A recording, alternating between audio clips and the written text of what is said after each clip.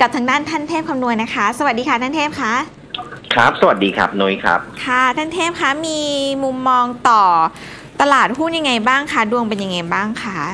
ครับก็สำหรับอ่าในตัวของตำแหน่งนะครับของตัวเอ่อดาวจันทร์นะครับที่เป็นภาพในระยะสั้นนะครับ ก็เอ่อวันพรุ่งนี้นะครับ วันพฤหัสแล้วก็วันศุกร์เนี่ยน่าจะมีการ ปรับตัวเพิ่มขึ้นนะครับ แต่ว่า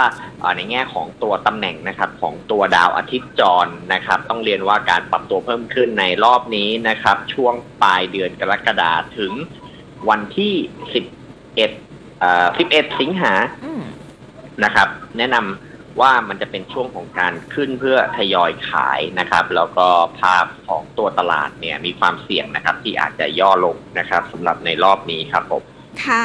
แล้วคำแนะนำสำหรับนักลงทุนที่มีหุ้นอยู่เหรอคะ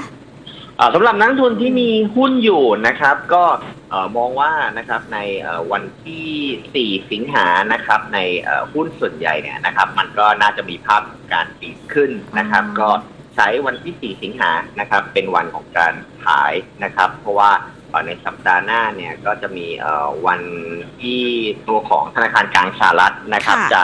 ลดในตัวของอัตราดอกเบี้ยนะครับอืมตลาดเนี่ยก็น่าจะตอบรับในเชิงบวกนะครับ แล้วก็ใช้ช่วงนั้นเนี่ยเป็นช่วงของการขึ้นแล้วก็ทยอยขายครับผมค่ะ ทยอยขายไปแล้วถ้าเราจะซื้อราคาพอมีหุ้นตัวไหนที่ดวงดีแล้วสามารถซื้อได้บ้างไหมคะเอ่อ สำหรับการที่จะซื้อนะครับในช่วงนี้นะครับในช่วงนี้เอ่อหลาย ๆ ตัวเนี่ยนะครับมันเป็นภาพของการเอ่อเก็งกำไรนะครับอ่าเพียงแต่ว่าหุ้นที่เอ่อมีการดีดกลับนะครับในระยะสั้นแล้วก็อาจจะเสี่ยงย่อลงนะครับ ก็ ผมคิดว่าให้ระมัดระวังในตัวของทูเนี่ยเอาไว้สักนิดหนึ่งนะครับ แล้วก็ตัวของ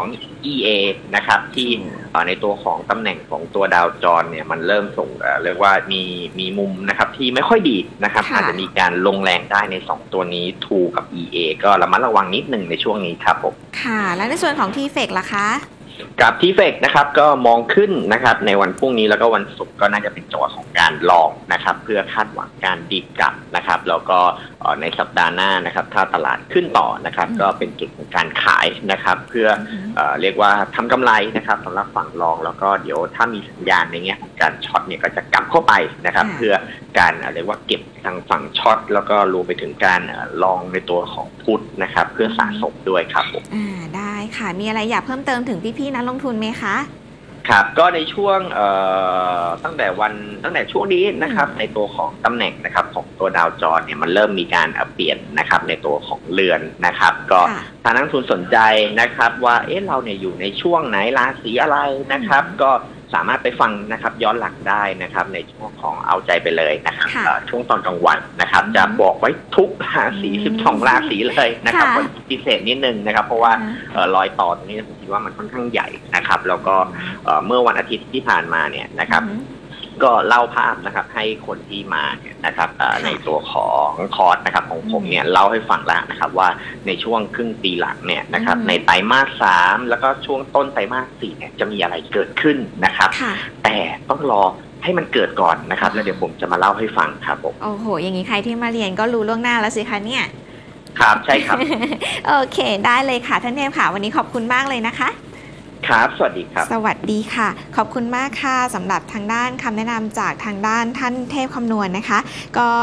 มีการพูดคุยเอาไว้ด้วยนะคะสำหรับใครที่ ช่วงไหนดวงดีดวงไม่ดีนะคะ ก็สามารถไปดูได้เนาะในช่วงของเอาใจไปเลยนะคะ ในเพจของ Business Line and Life นะคะ เราจะมีการพูดคุยกันทุกวันพุธอยู่แล้วนะคะ ก็ไปติดตามกันได้จะได้รู้ว่าเอช่วงนี้เราควรที่จะลงทุนแบบไหนลงทุนหุ้นแบบไหน แล้วหุ้นตัวไหนที่แบบดวงดีๆ น่าสนใจบ้างนั่นเองนะคะแต่